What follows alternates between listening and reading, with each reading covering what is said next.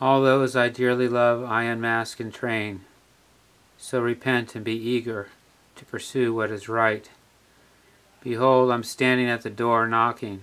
If your heart is open to hear my voice, and ye open the door within, I will come into you and feast with you, and you will feast with me.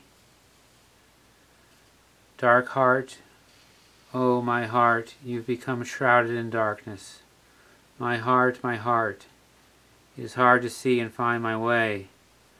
Spirits of abuse, betrayal, selfishness, unforgiveness, pride, ambition, jealousy, each have made their deposit. Each has tentacles that poison the well of my being. I cry out, Give me a new heart, God. Show me that you are above the rest. Is your passion like fire, like mine used to be? Do you exceed, as some say? Do you repair the broken-hearted? I feel warmth. Is this warm light your fiery breath? Is that what I feel on the embers of my soul?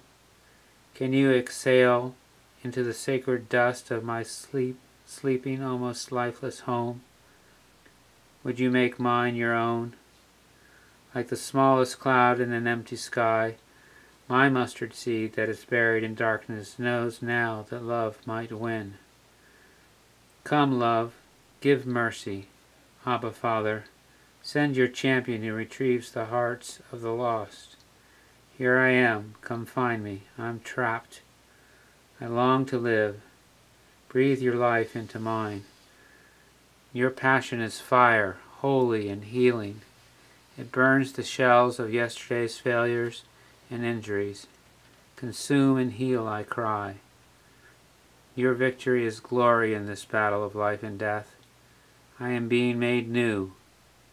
And you say, You'll never leave, never hurt, always love.